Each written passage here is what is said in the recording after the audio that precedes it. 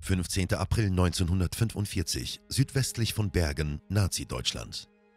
Die britische 11. Panzerdivision befreit Bergen-Belsen, eines der schrecklichsten Konzentrationslager, das die Bestialität des Naziregimes und seiner Todeslager verkörpert. Die britischen Truppen finden bei der Befreiung 13.000 unbestattete Leichen und fast 60.000 kranke und ausgehungerte Häftlinge vor. Weitere tausende Häftlinge werden in den Monaten nach der Befreiung des Lagers an Krankheiten wie Typhus und Tuberkulose sterben. Die britischen Streitkräfte nehmen männliche und weibliche Lageraufseher gefangen, die für diese Gräueltaten verantwortlich sind und zwingen sie dabei zu helfen, die Leichen in Massengräbern beizusetzen. Eine der KZ-Aufseherinnen ist Irma Krese, die zu einer der berüchtigsten Täterinnen des verbrecherischen Naziregimes werden sollte. Irma Grese wurde am 7. Oktober 1923 in Wrechen in Mecklenburg geboren. Sie war das dritte von fünf Kindern. Ihre Eltern arbeiteten beide in einer Molkerei. Adolf Hitler und die NSDAP kamen im Januar 1933 an die Macht. Die Nazis waren geschickte Propagandisten, die ihre Botschaften mit ausgeklügelten Werbetechniken und den modernsten Technologien der damaligen Zeit verbreiteten. Die Hitlerjugend und der Bund Deutscher Mädel wurden als Jugendgruppen der NSDAP gegründet, um Kinder und Jugendliche mit der nationalsozialistischen Ideologie und Politik vertraut zu machen. Die HJ bereitete die deutsche Jugend auf den Krieg vor. Da Irmas Vater kein Sympathisant der Nazis war und alles verachtete, was mit den Nazis in Verbindung gebracht wurde, verbot er seinen Kindern, den Jugendorganisationen der Nazis beizutreten, obwohl sie das wollten. Die Indoktrination durch die Nationalsozialisten ließ sich jedoch nicht vermeiden, denn auch die Schulen spielten eine wichtige Rolle bei der Verbreitung des nationalsozialistischen Gedankenguts unter den Schülern. Von ihren ersten Schultagen an wurden deutsche Kinder wie Irma Krese vom Personenkult um Adolf Hitler geprägt. Sein Konterfei gehörte zur Standardausstattung in allen Klassenzimmern. Vorhandene Lehrbücher wurden aus den Klassenzimmern entfernt und deutsche Pädagogen führten neue ein, die den Schülern Hitlerliebe, Gehorsam gegenüber der Staatsgewalt, Militarismus, Rassismus und Antisemitismus vermittelten. 1936, als Irma 13 Jahre alt war, beging ihre Mutter Selbstmord, nachdem sie die Beziehung ihres Mannes mit der Tochter eines örtlichen Gastwirts entdeckt hatte. Irma wurde daraufhin allein von ihrem Vater Alfred Krese erzogen, einem gläubigen Christen, der sehr streng zu seinen Kindern war und sie häufig verprügelte. Irma Krese war eine schlechte Schülerin. Nach Angaben von Irmas Schwester Helene wurde Irma in der Schule gemobbt, sodass sie die Schule abbrach, als sie erst 14 Jahre alt war. Danach absolvierte sie ein Landjahr beim Reichsarbeitsdienst. 1939 im Alter von 15 Jahren ging Grese in die Heilanstalt Hohenlüchen, wo sie etwa zwei Jahre lang als Hilfskrankenschwester arbeitete und unter dem Sanatoriumsarzt Karl Gebhardt ausgebildet wurde einem Nazi-Arzt, der später medizinische Experimente an Insassen des Konzentrationslagers Ravensbrück durchführte. Grese wollte eine Ausbildung als Krankenschwester in der Heilanstalt Hohenlüchen machen, aber wegen ihrer schlechten Zensuren wurde sie abgelehnt und 1941 im Alter von 17 Jahren stattdessen auf einen Milchviehbetrieb in Fürstenberg geschickt, wo sie eine Buttermaschine bediente. Ihre kriminelle Karriere begann im Juli 1942 im Konzentrationslager Ravensbrück. Ravensbrück, das im Mai 1939 eröffnet wurde, war das einzige größere Frauenlager, das die Nazis errichteten. Insgesamt durchliefen etwa 132.000 Frauen aus ganz Europa das Lager. Mehr als 92.000 von ihnen kamen ums Leben. Das Personal des Lagers Ravensbrück bestand sowohl aus SS-Männern, die als Wächter und Verwalter eingesetzt wurden, als auch aus 150 Frauen, die als Aufseherinnen angestellt wurden. Bei diesen Aufseherinnen handelte es sich entweder um Freiwillige der SS oder um Frauen, die diese Arbeit wegen der guten Bezahlung und der attraktiven Arbeitsbedingungen angenommen hatten. Ravensbrück beherbergte auch ein Ausbildungslager für weibliche SS-Aufseherinnen, die von Dorothea Binz, einer sadistischen deutschen Nazi-Offizierin und Aufseherin, unterrichtet wurden. Sie brachte ihren Auszubildenden bei, wie sie mit Gefangenen, die sie beaufsichtigten sollten, umzugehen hatten. Die Häftlinge mussten bis zur tödlichen Erschöpfung arbeiten.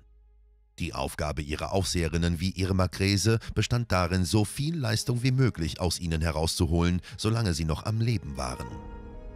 Ravensbrück wurde zu einem Ausbildungszentrum und einer Schule der Gewalt für etwa 3500 weibliche Aufseherinnen, die später entweder dort oder in anderen Konzentrationslagern eingesetzt wurden. Ab Sommer 1942 unterzogen SS-Ärzte die Häftlinge in Ravensbrück sittenwidrigen medizinischen Experimenten.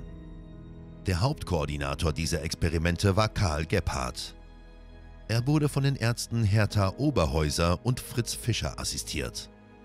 Das Ärzteteam brach den weiblichen Häftlingen mit einem Hammer die Beine, infizierte dann die offenen Wunden mit aggressiven Bakterien und überwachte die Heilung mit und ohne den Einsatz verschiedener chemischer Substanzen wie Sulfanilamid, einem frühen Antibiotikum, das Infektionen verhindern sollte. In der Überzeugung, dass dies bei der Behandlung amputierter Soldaten hilfreich sein könnte, testeten sie auch verschiedene Methoden zum Einsetzen und Verpflanzen von Knochen. Zu diesen Experimenten gehörten auch Amputationen, die oft ohne Betäubung durchgeführt wurden. Die SS wählte fast 80 Frauen, meist Polinnen, für diese Experimente aus. Viele der Frauen starben an den Folgen. Diejenigen, die überlebten, trugen oft bleibende körperliche Schäden davon. SS-Ärzte führten auch Sterilisationen an Frauen und Kindern durch, darunter viele Romja, um eine wirksame Methode zur Sterilisation zu entwickeln. Sie waren an Zwangsabtreibungen von Frauen beteiligt, die bereits im siebten oder achten Monat schwanger waren. Und sie waren dafür bekannt, dass sie Neugeborene töteten oder schwangere Frauen schlugen, um Fehlgeburten auszulösen. Ihr Grese kannte Karl Gebhardt aus dem Sanatorium Hohenlüchen und es wird vermutet, dass die damals 18-jährige Grese in Ravensbrück auch als Hilfskrankenschwester bei den Experimenten eingesetzt war und Grausamkeiten miterleben musste, die sich möglicherweise schädigend auf ihre Psyche auswirkten und sie zu einer gewalttätigen Sadistin machten. Als sie 1943 nach Hause kam und ihrer Familie erzählte, dass sie die im Lager Ravensbrück arbeitenden Häftlinge beaufsichtigte, verprügelte ihr Vater sie mit einem Gürtel und verbot ihr, jemals wieder nach Hause zu kommen. Im März 1943 wurde Irma Grese nach Auschwitz-Birkenau im besetzten Polen versetzt. Birkenau war das größte der mehr als 40 Lager und Außenlager, aus denen der Auschwitz-Komplex bestand. Es war in zehn Abschnitte unterteilt, die durch elektrische Stacheldrahtzäune voneinander getrennt waren. Es wurde von SS-Wachleuten bewacht, ab 1942 auch von SS-Hundeführern. Während seiner dreijährigen Betriebszeit hatte es eine Reihe von Funktionen. Als im Oktober 1941 mit dem Bau begonnen wurde, sollte es ein Lager für 125.000 Kriegsgefangene werden. Im März 1942 wurde es als Außenstelle von Auschwitz eröffnet und diente gleichzeitig als Lager für die Vernichtung der Juden. In seiner letzten Phase ab 1944 wurde es auch zu einem Ort, an dem die Gefangenen zusammengezogen wurden, bevor sie zur Arbeit in der deutschen Industrie in unterschiedlichen Regionen des Dritten Reichs eingesetzt wurden. Nach Aussage von Irmas Schwester Helene hatte Irma als kleines Mädchen Angst, sich zu wehren und lief weg, um einem Kampf zu entgehen. In Auschwitz jedoch sah sich Grese zum ersten Mal in der Lage, Menschen zu prügeln, die sie nicht zurückschlagen konnten. Und es war offensichtlich, dass sie es genoss. Grese wurde zu einer der meistgehassten und gefürchteten Aufseherinnen des Lagers. Ihrer Grausamkeit und Brutalität verdankte sie die Bezeichnungen als die Hyäne von Auschwitz und die schöne Bestie. Grese stand auch im Ruf, sowohl mit weiblichen als auch mit männlichen Lagerinsassen sexuelle Beziehungen zu unterhalten. Sie soll auch Affären mit dem berüchtigten Arzt Josef Mengele sowie mit Josef Kramer, dem Kommandanten des Konzentrationslagers Auschwitz-Birkenau und später Bergen-Belsen gehabt haben. Die Ärztin Gisela Perl, ehemalige Gefangene in Auschwitz, sagte über Irma, Sie war eine der schönsten Frauen, die ich je gesehen habe. Ihr Körper war perfekt, ihr Gesicht klar und engelsgleich und ihre blauen Augen waren die fröhlichsten, unschuldigsten Augen, die man sich vorstellen kann. Und doch war Irma Grese die verdorbenste, grausamste, fantasievollste Perverse, der ich je begegnet bin.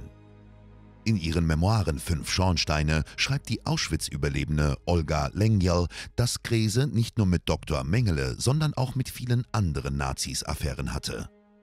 Als es an der Zeit war, Frauen für die Gaskammer auszuwählen, bemerkte Lengyel, dass Irma Grese aus eifersüchtiger Bosheit absichtlich die schönen weiblichen Häftlinge auswählte. Es gab jedoch auch weibliche Häftlinge, die Irma Krese mochte. Das war bei der damals 16-jährigen Nina Kaleska der Fall, der Krese sagte, dass sie wie ihre Schwester Helene aussah. Kaleska wurde von Irma als Botin und Aufpasserin eingesetzt, wenn Irma in den Baracken lesbischen Sex hatte und aufpasste, dass niemand sie störte. Grese hatte zahlreiche Affären mit weiblichen Häftlingen, die sie in die Gaskammer schickte, wenn sie ihrer überdrüssig wurde. Wer ihre sexuellen Avancen ablehnte, den quälte sie. Als ein gut aussehender georgischer Mann die Annäherungsversuche von Grese zurückwies, musste er mit ansehen, wie Irma seine nackte Freundin an den Haaren durch das Lager schleifte und sie auspeitschte. Danach ließ sie den Mann erschießen, seine Freundin schickte sie in das Lagerbordell. Als Mengele herausfand, dass sie Affären mit jüdischen Häftlingen hatte, die als rassisch minderwertig galten, beendete er seine Beziehung zu ihr. In Auschwitz verliebte sich Krese in den SS-Mann Franz Wolfgang Hatzinger, der Chefingenieur der Bauabteilung von Auschwitz I war. Trotz dieser Beziehung hatte Krese viele Liebhaber. Sie erkrankte an Geschlechtskrankheiten und nach Angaben von Olga Lengyal hatte sie zahlreiche Abtreibungen. Die Ärztin Gisela Perl führte eine dieser Abtreibungen durch und berichtete, dass Irma lediglich Angst vor Schmerzen hatte. Nach ihrer Ankunft in Auschwitz hatte Grese verschiedene Positionen im Lager inne. Zunächst war sie als Telefonistin tätig, dann wurde sie strafversetzt als Leiterin des Kommandos, das Steine aus einem außen gelegenen Steinbruch ins Lager transportierte. Die Strafe hatte sie erhalten, weil sie ihre Mütze nicht getragen hatte. Sie war auch für das Straßenbau- und Gartenarbeitskommando verantwortlich. Im Mai 1944 sollte die Vernichtung der ungarischen Juden erfolgen. Innerhalb von acht Wochen, vom 15. Mai bis zum 9. Juli 1944, deportierten ungarische Gendarmeriebeamte unter der Leitung deutscher SS-Beamter etwa 424.000 Juden aus Ungarn nach Auschwitz-Birkenau, wo SS-Funktionäre die meisten von ihnen direkt in die Gaskammern schickten. Noch im selben Monat wurde Grese im Alter von 20 Jahren zur leitenden Aufseherin des Lagers C in Birkenau ernannt und beaufsichtigte sechs bis sieben weibliche Wärterinnen, die jede Woche wechselten. Das Lager C bestand aus 28 Blöcken, in denen die Häftlinge untergebracht waren, sowie aus einem Essensblock, zwei Lagern mit Unterwäsche und Kleidung, zwei oder drei Latrinenblöcken und zwei Waschhäusern. Die Unterkünfte waren für 100 bis maximal 300 Häftlinge ausgelegt, aber das Lager war so überfüllt, dass Grese in jedem Block 1000 Häftlinge unterbringen musste. In einigen der Blöcke gab es Kojen, die groß genug für fünf Personen waren, aber in den meisten Blöcken gab es weder Betten noch Kojen. Im Lager C gab es etwa 30.000 Häftlinge, die alle Ungarn waren. Die Blockältesten waren aus der Tschechoslowakei.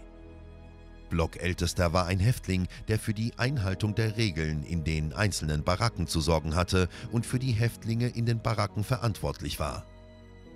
Aufgrund der Überbelegung des Lagers waren die sanitären Bedingungen katastrophal. Die Latrinen funktionierten nicht mehr und Grese beschrieb später, Überall, wo man hinkam, war es so, als ob die Häftlinge dachten, dass jeder Ort gut genug für eine Latrine sei. Grese war dafür berüchtigt, dass sie eine geflochtene Lederpeitsche mit sich führte, die mit Zellophan überzogen war, damit das menschliche Blut leicht abgewaschen werden konnte. Sie stand am Tor, wenn die Arbeitstrupps aus- und eingingen und schlug dort regelmäßig Häftlinge mit ihrer Peitsche, einfach weil es ihr Spaß machte. Später sagte sie aus, es war eine sehr leichte Peitsche, aber wenn ich jemanden damit schlug, tat es weh. Irma Grese schlug und misshandelte Häftlinge in einem solchen Ausmaß, dass der Lagerkommandant Josef Kramer sie aufforderte, die Peitsche nicht mehr zu benutzen. Sie setzte die Peitsche aber trotzdem weiter ein. Die häufigsten Gründe für die Auspeitschung der Häftlinge waren, dass sie aus Hunger Essen gestohlen hatten oder zu spät zum Appell erschienen waren. Während der Appelle, die oft von 3 Uhr in der Nacht bis 9 Uhr morgens dauerten, mussten die Gefangenen stillstehen. Wenn sie sich bewegten, wurden sie entweder geschlagen oder mussten sich stundenlang hinknien. Grese begründete die Auspeitschungen damit, dass sie hin und her liefen und sie deshalb nicht richtig zählen konnte. Um diese Appelle so beschwerlich wie möglich zu gestalten, befahl sie den Gefangenen häufig, einen großen Stein über den Kopf zu halten. Wer schwächelte, wurde geschlagen. Als Gefangene ihre Decken zerschnitten, um daraus Schuhe oder Jacken zu machen, gab Grese strikte Anweisung, all aus diesen Decken hergestellten Dinge sofort zurückzugeben. Als dem keiner der Häftlinge nachkam, ordnete sie die Durchsuchung der Blocks an. Gefangenen, bei denen diese Kleidungsstücke gefunden wurden, peitschte sie brutal aus. Irma Grese schlug die Gefangenen auch mit einem Spazierstock, bis sie blutend zu Boden fielen und trat sie dann mit ihren schweren Stiefeln so fest sie konnte. Einmal beobachtete sie eine Frau, die über den Drahtzaun hinweg zwischen zwei Lagern mit ihrer Tochter sprach. Grese schlug und trat so brutal auf sie ein, dass die Gefangene am Boden liegen blieb. Sie wurde auch beschuldigt, ältere weibliche Häftlinge für die Gaskammern selektiert zu haben. Mit ihrem Geliebten, dem Arzt Josef Mengele, führte sie diese Selektionen oft gemeinsam durch. Wenn die Frauen in die Gaskammer geschickt wurden, vermerkte Krese dies in ihren Büchern als Sonderbehandlung. Überlebende erinnerten sich später daran, wie die weiblichen Häftlinge oft nackt vorgeführt und wie Vieh inspiziert wurden, um zu entscheiden, ob sie geeignet waren, im Deutschen Reich zu arbeiten oder sterben sollten. Krese sorgte dabei für Ordnung. Die weiblichen Häftlinge, die versuchten, einer solchen Selektion zu entkommen, brachte sie zurück und schlug so lange auf sie ein, bis sie überall bluteten, bevor sie wieder in die Reihen zurückgeschickt wurden. Wenn sie sah, wie Verwandte versuchten, sich bei der Selektion zur Zwangsarbeit zusammenzufinden, schlug sie sie, bis sie bewusstlos waren und ließ sie auf dem Boden liegen. Als bei einer solchen Selektion zwei Mädchen, die zu fliehen versuchten, aus dem Fenster sprangen und am Boden lagen, erschoss Grese sie erbarmungslos mit ihrer stets geladenen Pistole. Grese hat aber auch einigen Häftlingen geholfen. Das war der Fall der damals 14-jährigen Alice Tenenbaum, die von Josef Mengele 16 Mal in die Gaskammer geschickt wurde und jedes Mal holte Grese sie aus der Gaskammer heraus. Nach dem Krieg erfuhr Alice, dass Krese sie deshalb so oft gerettet hatte, weil sie Irmas Schwester Helene ähnlich sah. In Auschwitz hatte Krese zwei große Hunde, die sie aushungern ließ. Überlebende erinnerten sich, dass sie mit den Hunden auf einem Fahrrad durch das Lager fuhr und die weiblichen Häftlinge auf ihren 16 Kilometer langen Weg zur Arbeit begleitete. Wenn jemand nicht mit der Kolonne mithalten konnte, befahl sie den Hunden, sie anzufallen. Einmal, als ein weibliches Kommando Steine ins Lager transportierte, verloren die Frauen die Kontrolle über ihren Wagen. Der Wagen geriet ins Schwanken, stürzte den Hügel hinunter und kippte um, wobei die Steine über die ganze Umgebung verstreut wurden. Eine Überlebende sagte später aus, was danach geschah. Irma hetzte die beiden Wachhunde auf sie. Die Mädchen versuchten, ihren Fängen zu entkommen, aber die ausgebildeten Killer konnten sie leicht einholen. Die Hunde zerrten an den Körpern der Mädchen. Irma kam näher, um zu beobachten, was sie taten. Ihre Augen waren blutunterlaufen, der Anblick von Blut schien sie zu erregen. Die ganze Zeit über hatte Irma Grese ein Lächeln im Gesicht.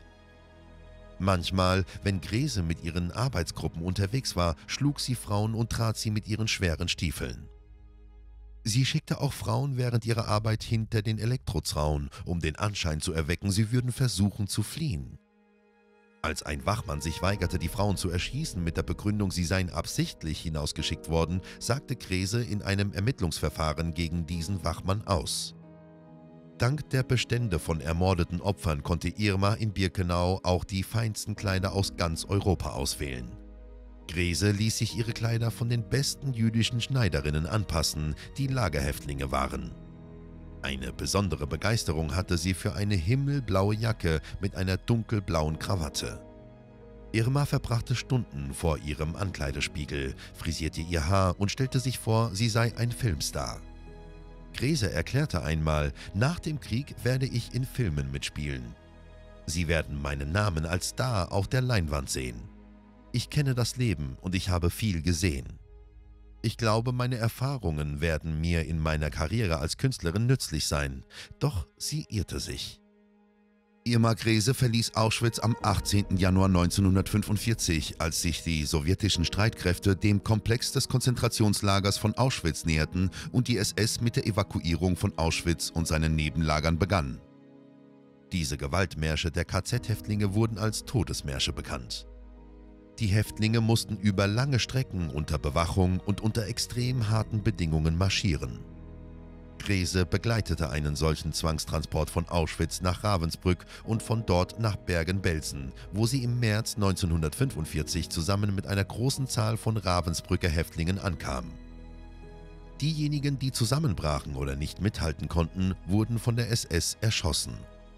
Während dieser Todesmärsche erhielten die Häftlinge fast keine Nahrung und auch bei ihrer Ankunft im Lager gab es nichts zu essen.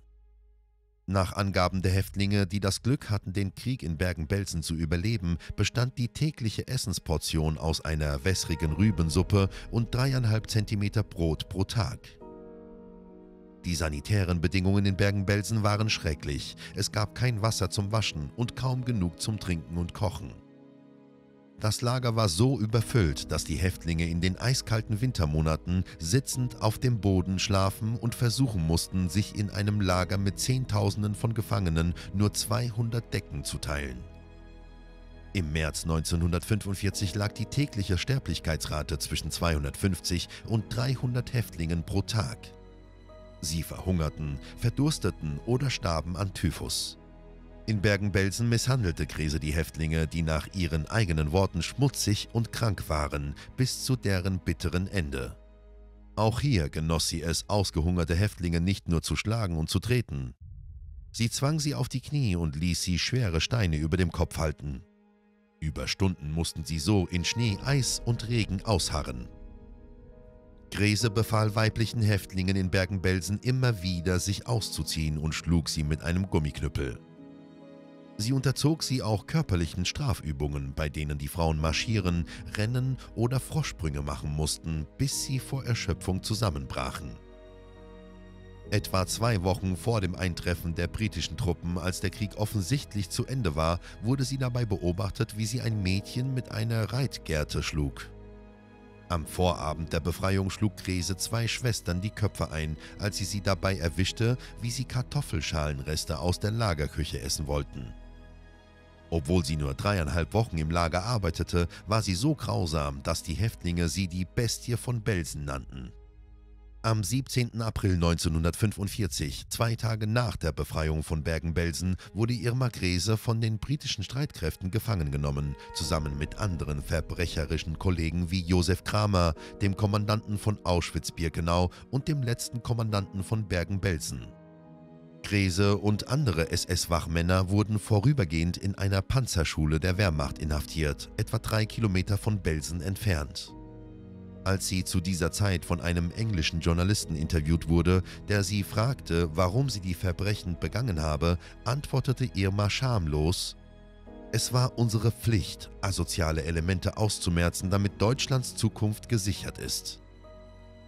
Die Gerechtigkeit holte Krese schließlich ein, als sie am 17. September 1945 im Belsen-Prozess vor Gericht stand.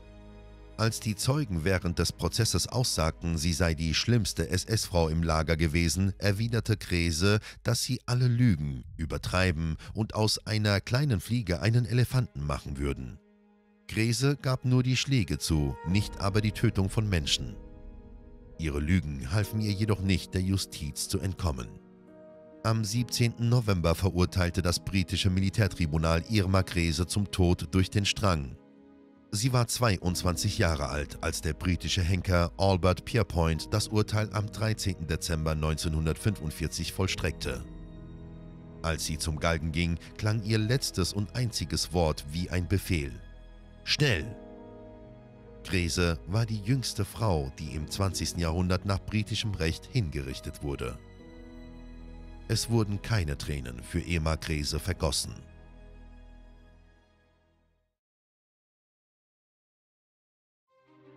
Vielen Dank, dass du dir den World History Kanal angeschaut hast. Klick auf Gefällt mir, abonniere unseren Kanal und aktiviere die Benachrichtigungen, um keine Folge zu verpassen. Vielen Dank und bis zum nächsten Mal auf unserem Kanal.